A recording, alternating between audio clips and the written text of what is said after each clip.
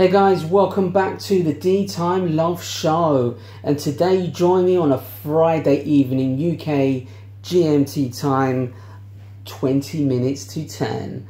And uh, today I've got a very interesting video for you guys. I've got an offering from Thomas Earnshaw, the Beaufort Anatolia automatic watch. And the reason why I'm featuring this watch today is that I've had many questions over the last year or so about Thomas Earnshaw watches, and in particular, a couple of their timepieces. But one of the most popular requests was about the Thomas Earnshaw Beaufort Anatolia. What are my thoughts?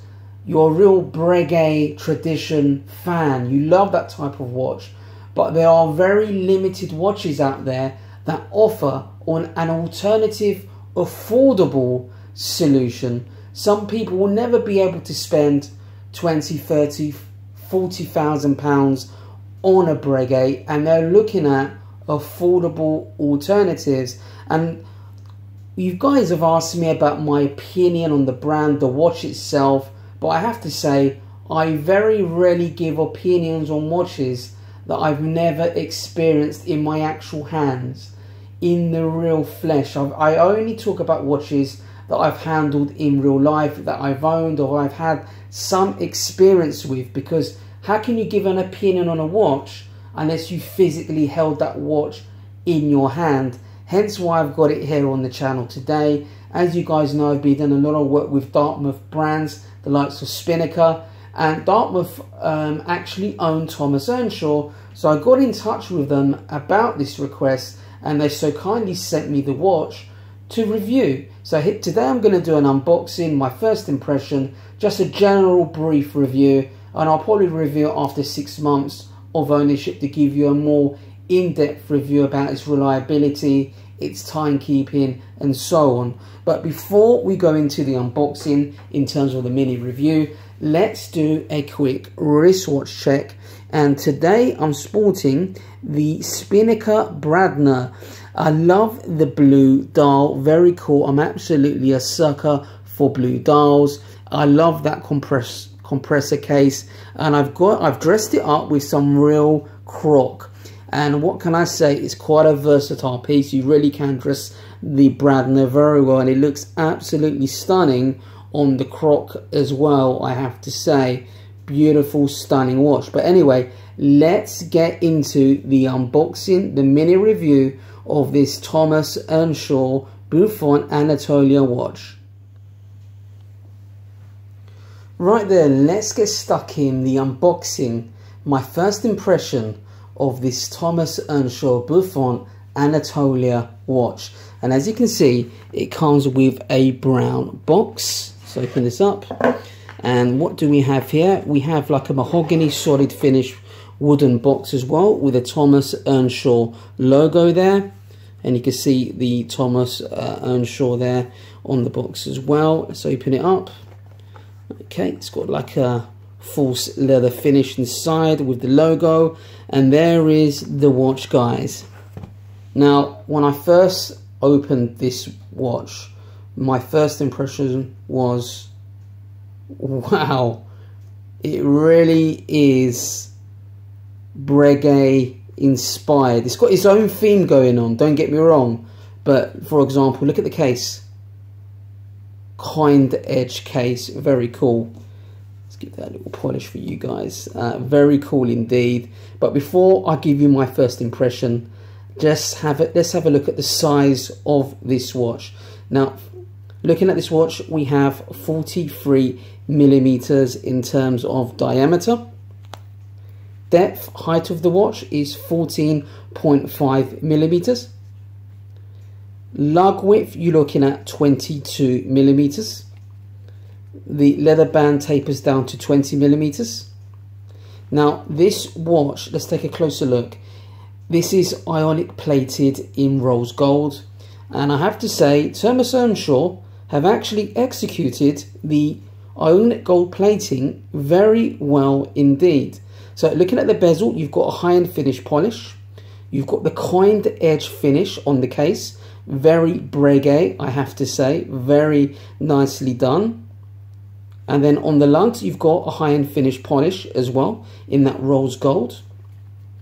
And let's take a closer look at the dial.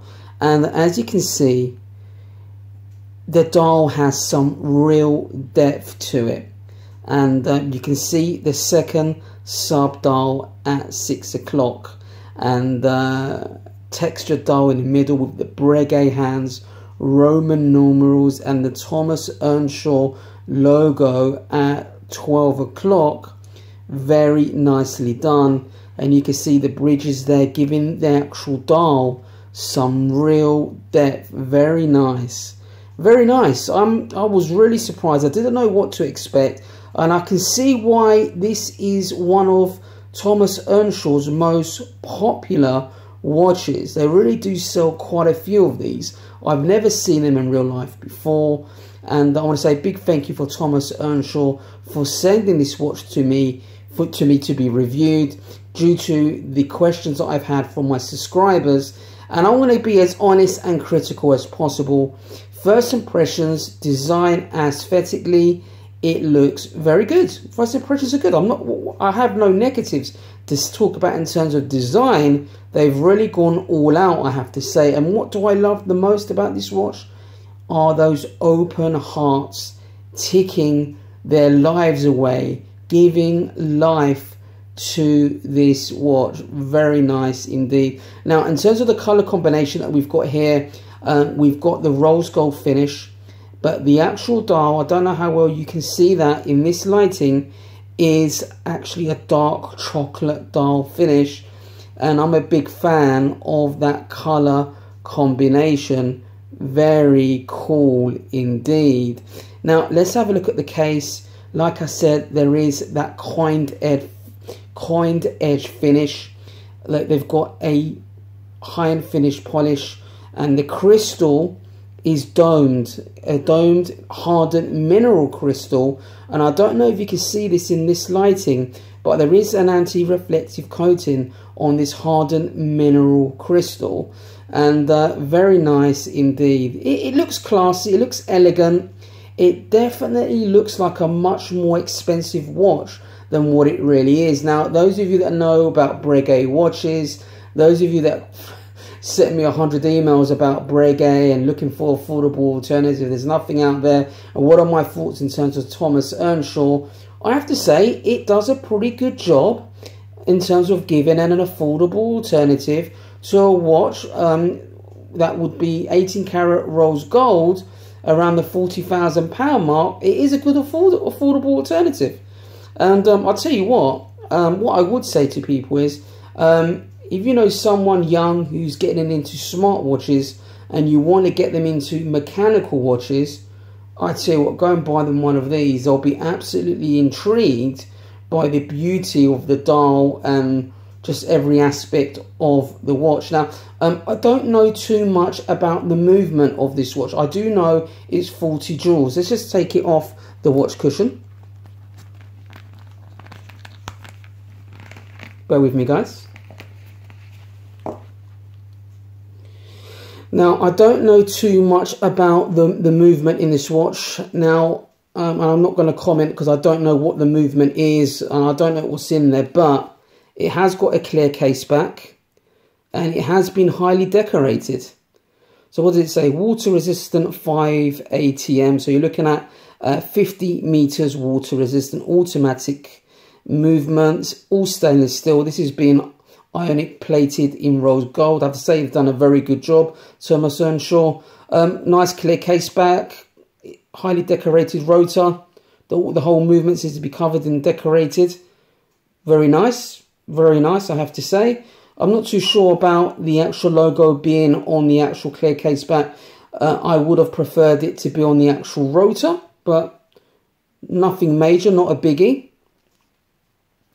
Um, I'm not sure if this watch is hackable. So let's just test it. Bear with me, guys.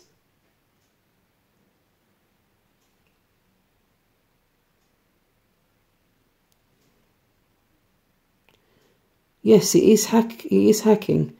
So the second sub dial at six o'clock has stopped. Let's just put the crown back in. Yes. So it's manual wind, hacking. It's a 40 jewel movement. I'm not too sure about the power reserve. Uh, what I'll do, I'll do a more in-depth review um, in six months to let you know about if there's any reliability issues and how well it keeps time. But um, what can I say about this Thomas Earnshaw watch? You know what? It costs £520. Have a look at their website. Um, I think if you look around, you may be able to find it a little bit cheaper elsewhere. But I believe the rose gold combination that I, um, this particular model is more of the expensive uh, one in the range. Um, but yeah, you know what? Overall, I like it. It's a cool looking piece. Um, the leather strap is okay. It does the job. I love the buckle. I like that. Very nice. Um, I would probably match this watch up with a real croc or alligator strap just to give it more more class, give it that more of a luxury look. I think would really finish this watch off very well. Um, yeah, you know, the leather band's all right. It, it, does the job, but you can't beat some real croc, I have to say. But overall, guys, what can I say? I love the coined edge finish. The construction is okay. Negatives, what could I say, for £520?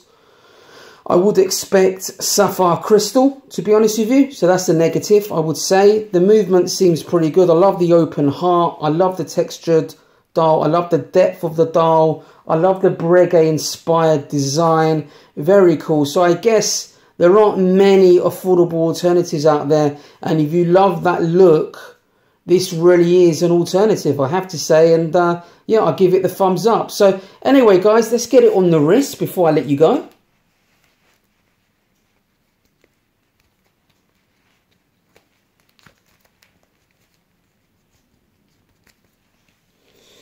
Yeah, looks pretty good. Only thing I would say that when you're buying a watch like this, you normally buy to be a dressy type watch in your collection. And uh, it is quite thick, which is another negative. You know, I've actually, you know, worn a Breguet Tradition and uh, that was 11 millimeters. But look, that's a 40,000 pound watch. The one I wore in all gold, 18 karat gold.